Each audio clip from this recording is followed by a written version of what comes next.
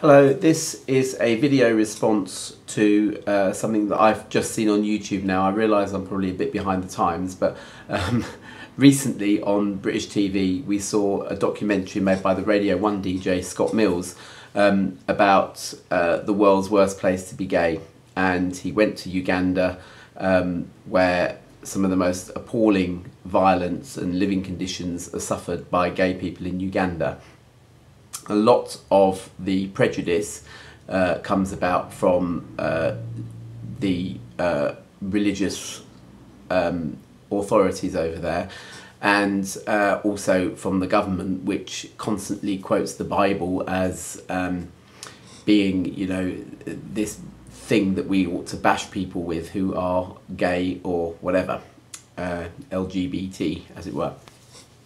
Um, I really think that the argument is not being made for the Christians in um, our society that actually don't believe in homophobia. Uh, we do live in a democracy, therefore, it is um, permissible for people to be anti homosexual uh, in terms of not necessarily believing that it's right, um, but to be anti-homophobia. Okay, um, I'll make my position clear right away.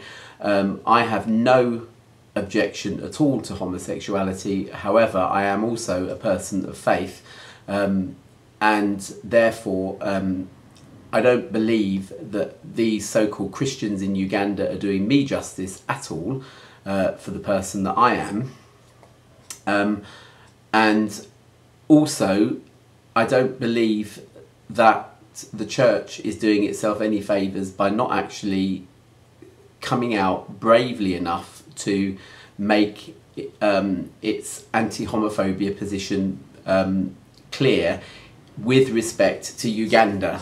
Because although, and I'll read you a few statements in a minute, although um, the church is not homophobic, um, certain of its members are, um, and really it ought to be stamped down. But also, um, the the Archbishop of Canterbury, who's the head of the Anglican Church, um, and therefore um, head of the Anglican Church in Africa, um, he has a very hard job to do. Um, it's not just based on the the homosexuality thing. he is defender of the faith, and therefore he cannot really speak out um, as much as he could when he wasn't Archbishop of Canterbury.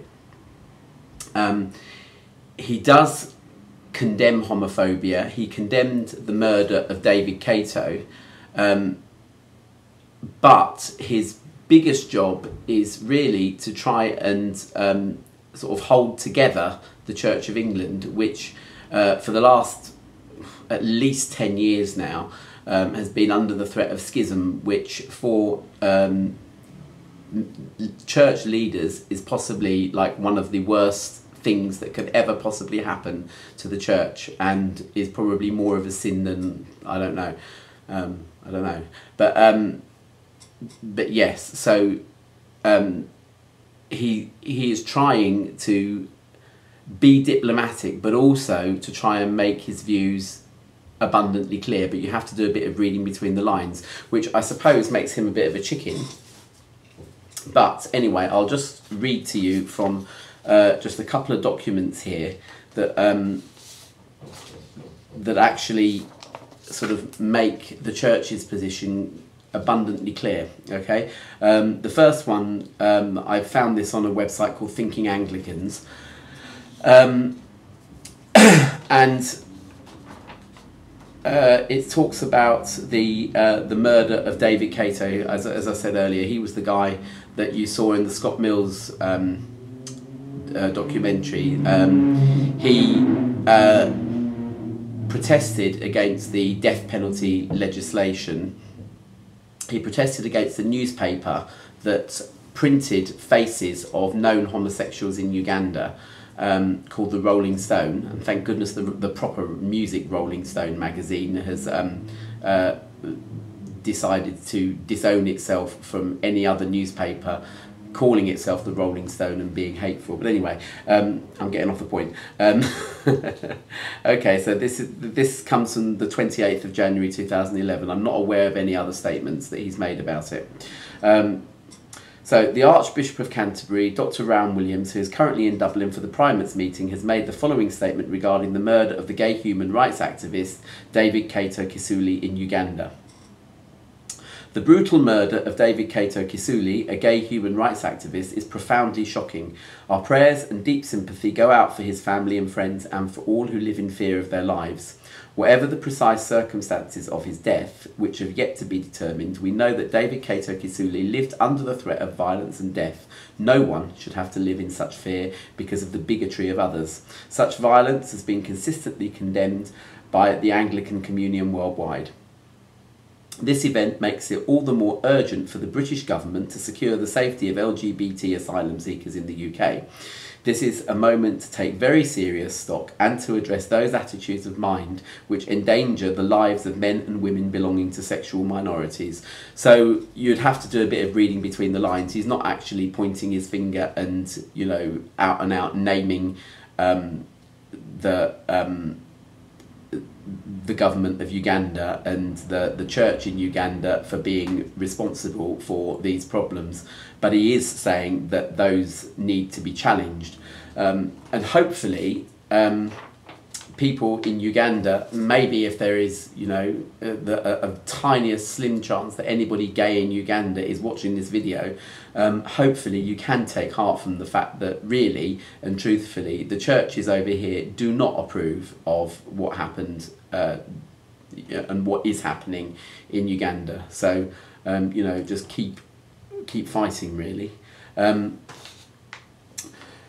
in terms of homosexuality itself, um, yes, there are a lot of people in uh, in the church who don't believe that it's scripturally compatible to be gay and Christian, but there are um, a lot of people, regardless of sexuality, within the church who do, um, and um, you know um, so I just wanted to really um, share uh, some of the other stuff. This is this some of this stuff's a bit old, dates back to the early two thousands. But even so, um, I'm not aware that um, any of this stuff has been sort of overtaken or changed or whatever. Um, uh, and some of what he says comes from the the key church document, um, which is issues in human sexuality.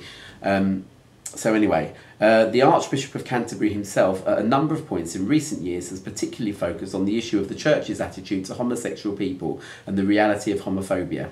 In his statement on the withdrawal of Jeffrey John, he was a gay um, uh, a, a, gay priest. Um, he uh, he was nominated as a bishop. Um, he himself um, withdrew his nomination for a bishop. Um, but he said, um, let me add that some of the opposition expressed to Canon John's appointment has been very unsavoury indeed. A number of letters I received displayed a shocking level of ignorance and hatred towards homosexual people. Our official policies and resolutions as Anglicans commit us to listening to the experience of homosexuals and recognising that they are full and welcome members of the Church loved by God. Not everyone, it seems, takes equally seriously this element in the teaching of the Anglican Church, and some letters that came from non believers suggest that the level of foolish and hurtful prejudice in our society is still uncomfortably high. Christians who collude with this are simply not living out their calling. Um, following the publication of the Windsor Report in his discussion of the need for repentance in his Advent pastoral letter to primates of 2004, he included the following words, referring to yet another homophobic murder in London. And we should not forget those questions that may make us most uncomfortable. In the heat of this controversy, things have been said about homosexual people that have made many of them, including those who lead celibate lives, feel that there is no good news for them in the church. Remember that in many countries, such people face real persecution and cruelty.